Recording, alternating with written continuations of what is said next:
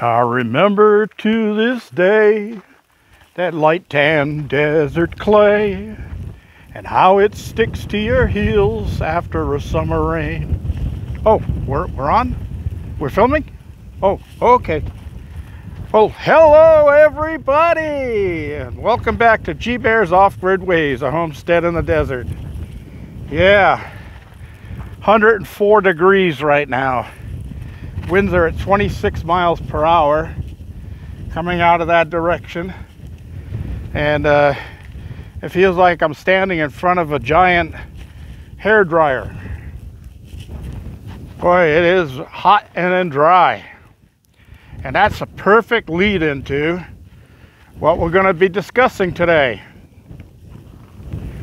So I announced a while back, a few days back, that I was going to be doing a series on um, solar cooking, different types of solar cooking. So we're going to get started with uh, showing you part of the first one today.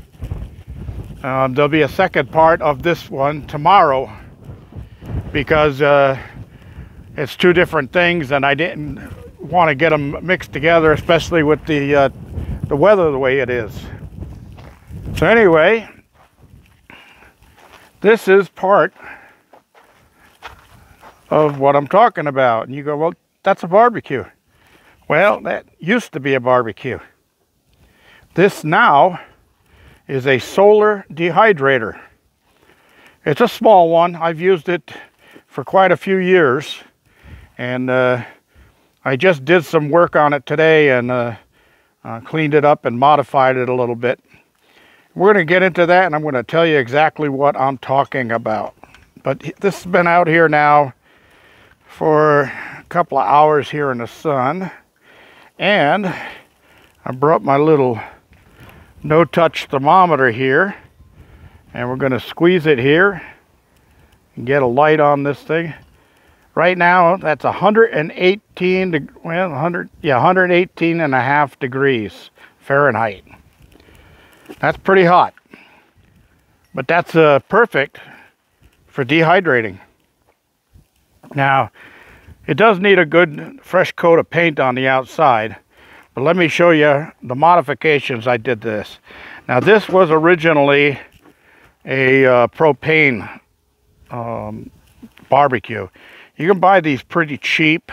Usually around the springtime, just before summer comes, you'll find them everywhere.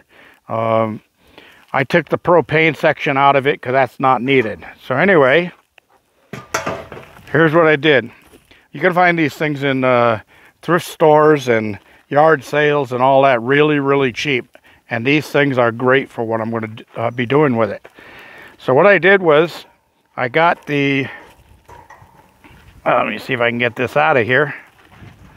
There we go. I got the um, the grills because they had rusted a little bit. Um, covered with this uh, quarter inch aluminum mesh. Now, I I use this because this is what I had, but you can also use some uh, quarter inch uh, hardware cloth that you can buy at Home Depots and Lowe's and that, um, Ace Hardware, wherever you want to get it. So you can use that also, and that's a lot easier to work with than the stuff that I used here. This took a little finagling to get it into place. So the bottom rack I did also, and uh, I got that one pressed down in there, wedged pretty tight. Um, this is where I'm going to put my um, stuff that I'm going to dehydrate. And I'll get to that in a minute. But let me flip this over and show you the other modifications. So un underneath here it had holes to let air in for burning charcoal. Well, I still wanted to let air in, but I didn't want flies and ants and stuff like that getting in. So I just took a regular piece of uh, nylon window screen um, always save a few remnants of that when you repair a window screen or something. Um, now there's a hole on the end here where the uh, propane unit went in And then there was four holes on the bottom here to let um, air in. Then there's one hole, screw hole in the center here that uh, held the uh, the propane flame piece that was under there um, that cooked your food. We don't need any of that, but we did want to make sure that we could seal it off so that bugs don't get into it while we're using it. Same thing here. You see we got these uh, louvers on the sides, one there and one there. And right here used to have a little thermometer in it. And that was uh, um, fine, but I don't need it for a, a dehydrator.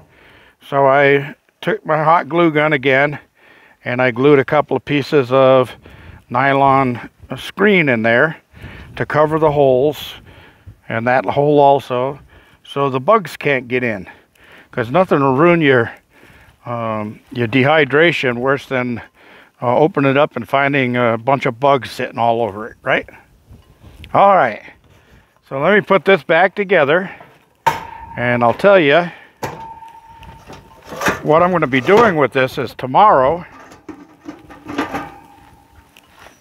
we're going to make simple um, Colonel Jackson's beef jerky. Yeah, good old beef jerky. And it's a real simple recipe. And I'm going to be doing it on camera for you. Um, right in place here, we'll be, we'll be getting it all put together and put it in here and close it up and let it sit out here in the sun for a while and uh, then we'll come back and check on it a little later and I'll show you how things came out. Uh, there'll be a two-part series tomorrow showing you how to make simple beef jerky and uh, you're also going to get to learn a few things tomorrow. Um, some of you may know the stuff I'm going to teach, but other others might say, I didn't know that. So anyway, that's the plan for tomorrow. So I'll probably get out here and do this uh, fairly early before it gets too hot and before the winds come because uh, that makes it a pain in the neck. Although the winds do keep the flies down. So I'll be putting my uh, my cutting board right here and um, I got my piece of meat in the refrigerator right now. I took it out of the freezer and it's thawing. And I'll show you which cut I like to use and all of that and exactly how I prepare it. Uh, tune in tomorrow, everybody. And thanks for joining me today. This is G Bear reminding you, don't forget your thumbs ups. Don't forget to share and subscribe. And this is G Bear signing off.